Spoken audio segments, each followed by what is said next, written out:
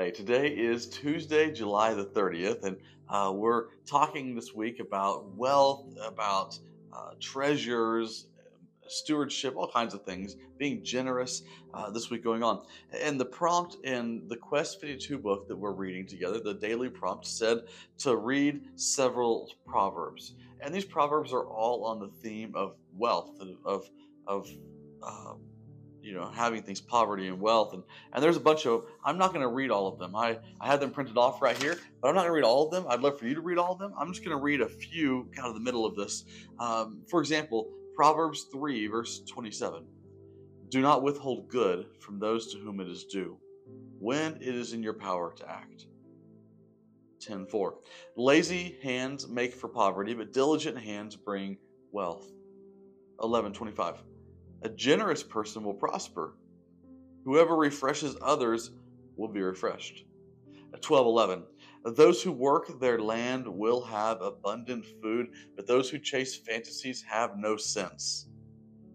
14:23 All hard work brings a profit. A mere talk leads only to poverty. Uh, 28:27 Those who give to the poor will lack nothing but those who close their eyes to them receive many curses. Let me ask you a question. Uh, this is something I want you to consider. And, and I'm not telling you I'm right necessarily. I just want you to consider this. What if all these things we're reading that talk about wealth and poverty and prosperity and, and uh, being generous and giving and withholding, what if all of these things are really not talking about worldly wealth, dollars? But what if they're talking about kingdom wealth? What if they're talking about wealth in a kingdom that is not now? It is coming here. We are ushering it in through the Spirit of God, but it is in the future, in eternity too. What if it's about kingdom wealth? What if we read all of these things and we see that if I give, if I'm generous, I prosper?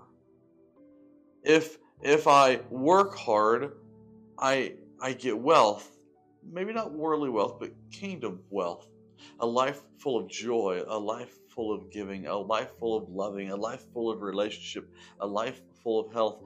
What if we've approached wealth wrong? Uh, there are some preachers out there that would tell you that if you serve God, if you're faithful to the Lord and you tithe and give, then you will be wealthy and, and you'll be healthy and all these things happen. A lot of that's not really in the Bible. What if, what if the Word of God is talking about kingdom wealth. And we've missed the mark as we've tried to build our worldly wealth in the middle of it. I want you to consider today, as you read these verses in Proverbs, and look for others, just do a Google search on wealth in the Bible, read a little bit.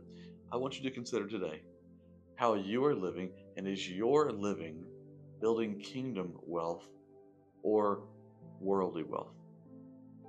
And I want to suggest that you want to find yourself on the side of the kingdom, not the world.